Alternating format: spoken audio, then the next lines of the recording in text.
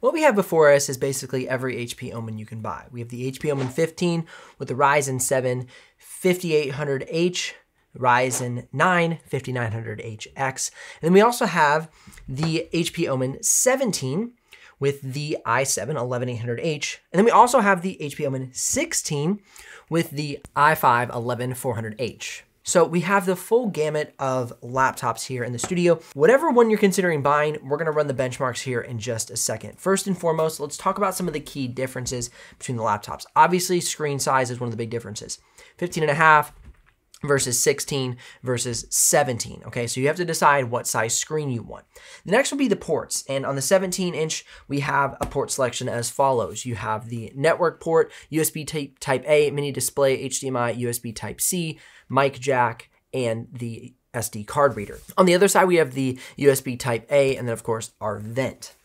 And on the 15 and 16, we have USB type A's, mini display port, USB type C. On the other side, we have our mini SD card slot, headphone jack, network port, USB type A, and HDMI. Okay, you get the same amount of ports, just in a different arrangement.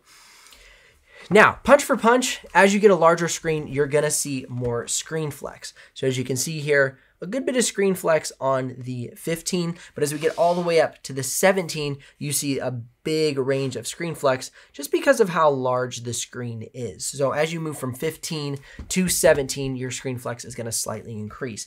This isn't something that I think is a massive concern, but it is something to keep in mind if that is a concern to you. Now, as far as price is concerned and availability, you can head down in the description below and click one of those links. Now, if you do make a purchase of that link, I'll get a small commission, but at no extra cost to you. But that's what keeps this channel alive and the helpful content coming your way. Now, as you move from the 15 to the 17, you're gonna have this charger block for the 15 inch model. As you move up to the 17, you're going to have this massive charger block, okay?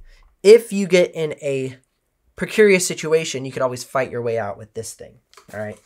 So that's one thing to keep aware of is if you get the smaller laptops, 16 and the 15, you're gonna have some smaller charger blocks. As you work towards the bigger laptop, you get that massive charger block. All right, if you're curious about my, you know, impressions on the build quality and usability of any of the laptops, I filmed full unboxings and I'll link those up at the end of this video. For now, without further ado, let's go ahead and get into some of the things that are important as far as the differences between the 15 and the 17. First and foremost, the color gamut range, I wanna pull that up on the screen now.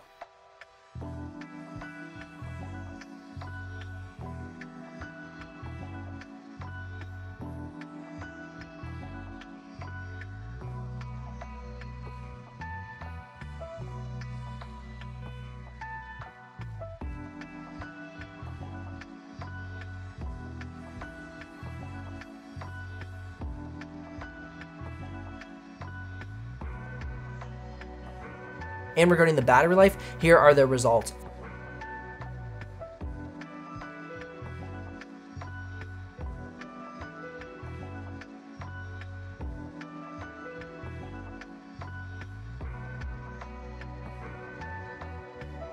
One of the biggest things that I noticed as far as usability was concerned is the difference in the trackpad. So on the 15 inch model, you have a quiet, well secured to the chassis trackpad. And I'm gonna give you a quick audio sample of that one. Compared to the 17, it doesn't sound as secured to the chassis as well as I'd hoped uh, initially compared to the 15 inch model. And here's a quick audio sample of that one.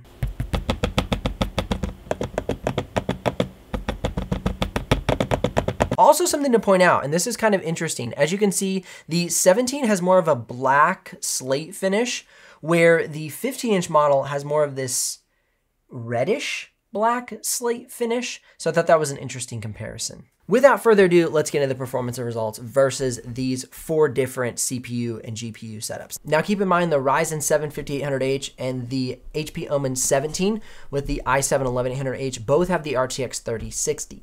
The Ryzen 9 5900HX has the RTX 3070, and the i5 11400H has the RTX 3050. So that's where we're going to see some differences in the gamut of results. Let's jump right into the simulated benchmarks first with Cinebench R20, R23, Geekbench single core, and multi-core.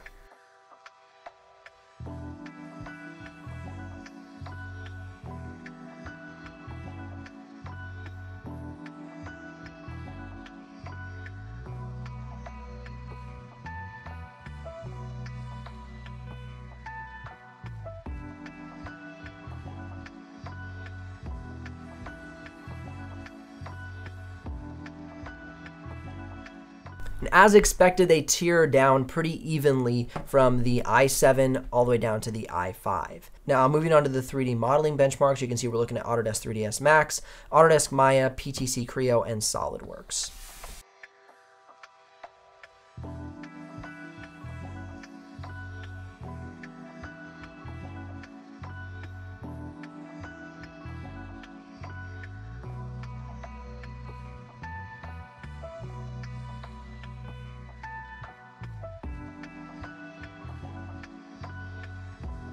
If you're considering any of these laptops for 3D modeling, I would go for the Intel. It's going to have better performance in 3D modeling, and matched with an RTX 3060, you're going to be in good hands. Moving on to After Effects, same thing. For the After Effects render benchmark as well as the standard After Effects benchmark, the i7 is going to win out with the RTX 3060. For the Premiere Pro export times, you can see the results coming up on the screen now for 1080p, 4K, and 6K.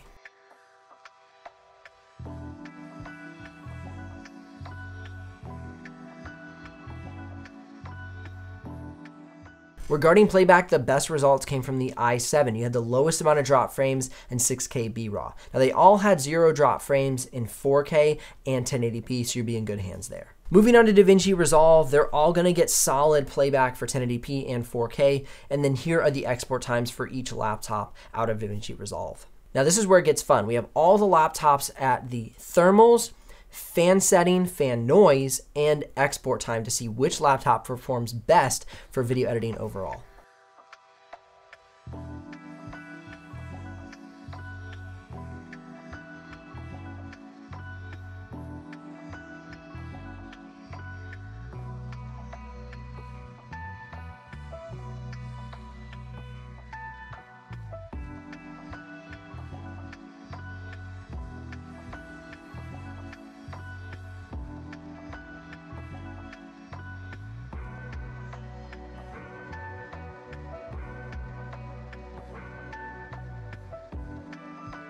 And overall, if you want a cool and quiet laptop, I would go with the HP Omen 17. It just has more room inside of the chassis because of its large stance to cool the laptop, CPU, and GPU.